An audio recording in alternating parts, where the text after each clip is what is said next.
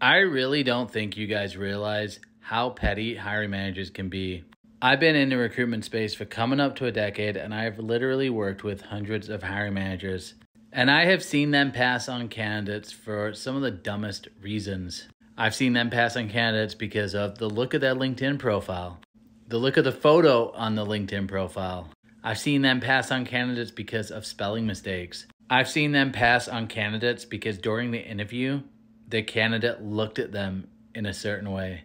I've seen them pass on candidates because the candidate didn't have any of the questions. I've seen them pass on candidates because the candidate talked too much, more than likely because they were nervous. Look, the point is here hiring managers can be really, really petty. It's one of the reasons that it's so hard to go through the job application process. And a lot of times it's really hard to get feedback because a lot of times hiring managers are actually making decisions based in discrimination, which is why it's so hard to get feedback.